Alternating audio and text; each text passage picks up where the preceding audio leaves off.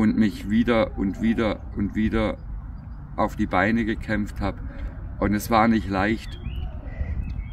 Es war verdammt schwer, nichts zu spüren ab dem Bauchnabel und ähm, jeden Tag versuchen, einfach nur zu stehen, stehen zu können. Und man ist umgefallen und wieder aufgestanden. Als Erwachsener. Und wieder umgefallen, wieder hingefallen und wieder aufgestanden. Es war hart. Verdammt hart.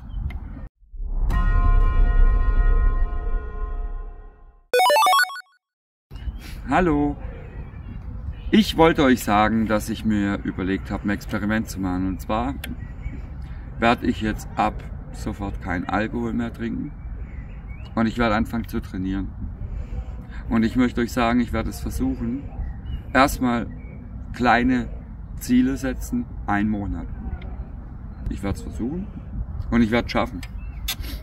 Und ich kann euch sagen, von Motivation und Durchhalten kann ich wirklich ähm, mitreden.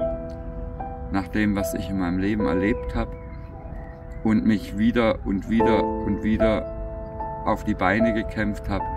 Und es war nicht leicht.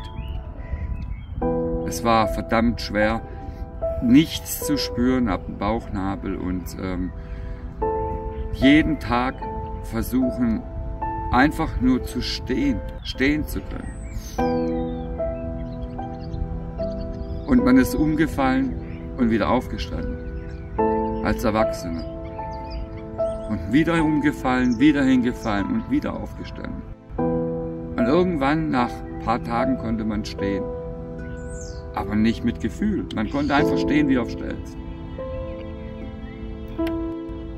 Es war hart. Verdammt hart. Aber ich habe es gemacht, ich habe gekämpft und ich war mir immer sicher, ich kann und möchte nicht aufgeben.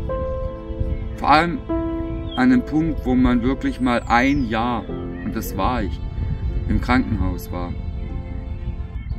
Ein Jahr nicht bei den Kindern, ein Jahr nicht bei der Frau, ein Jahr nicht zu Hause. Das ist hart. Man glaubt am Anfang, man schafft nur zwei Wochen. Aber der Körper schafft so viel mehr. Der schafft so viel unglaublich mehr, was man selber gar nicht glaubt. Man hat solche Kräfte in sich. Und irgendwann ist das Jahr vorbei. Am Anfang glaubt man, man schafft es nicht, aber auch die Zeit geht vorbei. Und das meine ich mit, dass der Körper so viel Kraft hat, so viel Kräfte, die man gar nicht, die man gar nicht erahnt und, und auch nicht, auch nicht rausnimmt oder, oder wie, wie soll ich sagen, die man nicht beansprucht, die man gar nicht, auf die man nicht zugreift. Aber der Körper hat die Ressourcen und die Kräfte. Und ich habe mir überlegt, es ist Alkohol ist so eine gefährliche Droge und ich trinke wirklich ähm, zu oft Alkohol. Ich würde nicht sagen zu viel, aber zu oft. Ähm, für mich persönlich. Und Sport mache ich auch zu wenig. Und ich möchte einfach das Experiment starten,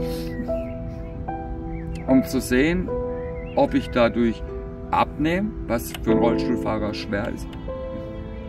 Ich möchte versuchen, ob ich dadurch fitter werde, mehr laufen kann, weitere Strecken laufen kann.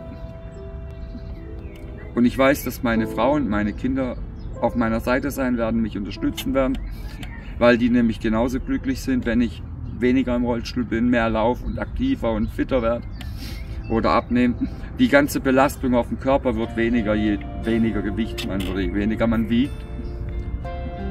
Ja. Wichtig ist, man hört es oft, aber das ist wirklich das Wichtigste im Leben. Egal was man erlebt, egal was passiert, so hart es auch sein mag, man darf niemals aufgeben. Man darf sich niemals unterkriegen lassen. Das ist hart und schwer manchmal und jeder hat sein Päckchen und jeder hat seine Probleme, aber Wenn man aufgegeben hat, hat man verloren, bevor man angefangen hat. Bevor man es überhaupt probiert hat. Das, das ist die letzte, das ist das Schlimmste überhaupt. Und